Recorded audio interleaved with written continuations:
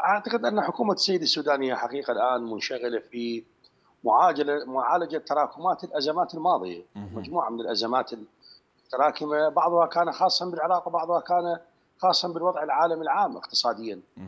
يعني إحنا لا ننسى أن الحرب مع داعش في 2014 وسياسات التقشف الفاشلة التي اعتمدتها حكومات العبادي والسيد عادل عبد المهدي والسيد الكاظمي التي لم تنعكس لا على إيجاد بدائل نفطيه للاقتصاد العراقي ولا تنمية القدرات الوطنية والمحلية ولا إيجاد يعني نوع من الانعاش بالقطاع الخاص، بقي الحال على ما هو عليه.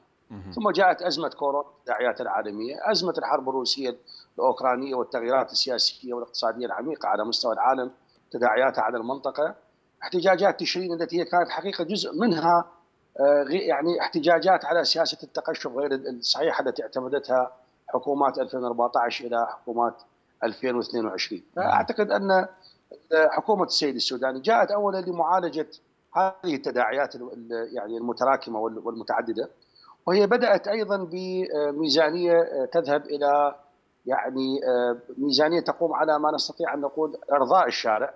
وإن كان هذا الإرضاء على حساب تضخم الميزانية في جانبها التشغيلي وما زال الاقتصاد طبعا ريعي معتمد على النفط فقط.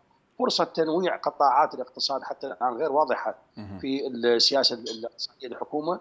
فبالتالي أعتقد الآن أن يعني سياسة حكومة الأخ السوداني تعمل الآن على إرضاء الشارع لكي تنطلق برؤية اقتصادية ربما بعيدة عن استفزاز الشارع، لكن هذا يبقى رهن بأن هل نستطيع أن نوجد سياسات استراتيجية تعزز دور القطاع الخاص وتنوع الموارد وتخلص العراق من هذا الاقتصاد الريعي المعتمد على النفط فقط. نعم. كما تفعل الكثير من الدول المحيطة في المنطقة.